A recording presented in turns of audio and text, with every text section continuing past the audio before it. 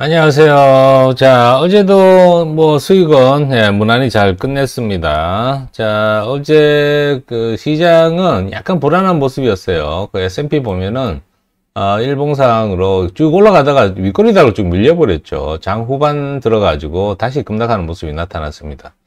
어, 3일 동안 아주 가파른 급락 때문에 반발이 나오긴 했지만 아, 여전히 조금 불안한 장이다. 이렇게 볼 수가 있어요.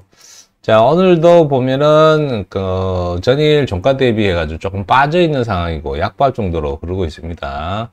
자, 나스닥도 보면 마찬가지죠. 많이 올라갔다가 아주 그 수직 낙하하는 그런 모습이라 가지고, 어, 계속 올라갈 거다 이렇게 판단했다고 하면은, 예, 그냥 수익이 제자리로 돌아가는 그런 모습이었다라고 볼 수가 있죠.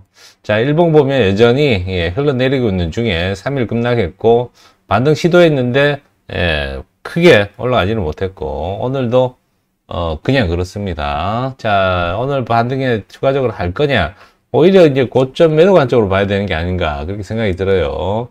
자 골드도 반등에 실패했어요. 어 경기 침체가 조금 흘러 간다 아, 이렇게 되면은 어, 골드 정도는 조금 어, 좀 강한 모습을 보여야 되는데 예, 빠져버렸고 실버도 어, 다시 빠졌습니다. 자, 오일도 어, 빠진 거 보면은 경기 침체에 대한 그런 우려가 여전히 좀 남아있다 이렇게 볼 수가 있고 아, 가스는 워낙에 많이 빠져가지고 조금 반등했습니다. 자, 1.9달러 밑에까지 예, 내려갔었어요. 자, 유로도 어, 유로도 어, 미국 달러가 경기 침체 예, 우려 때문에 조금 빠지고 어, 그러다 보니까 강세를 좀 보였었는데 어제는 또 예, 유로도 다시 조금 빠졌어요. 자, 파운드도 예, 쭉 내렸고 호주, 예, 뉴질랜드, 어, 캐나다, 아, 자, 엔화, 예, 그리고 스위스 프랑. 자, 안전자산이라고 할 수 있는 그 엔화하고 스위스 프랑이 예, 상승세가 조금 가파르게 나타났죠.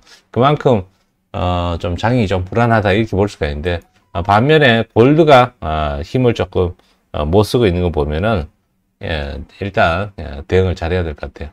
자, 오늘도 어, 나스닥 어, 호가 상황이 그렇게 좋지는 않습니다. 어, 호가 갭이 너무 커가지고 어, 단타로 접근하기는 조금 안 좋아 보이는데 또 어, 위아래 바로바로 체결이 되니까 또, 어, 또, 예, 오히려 기회일 수가 있을 것 같아요.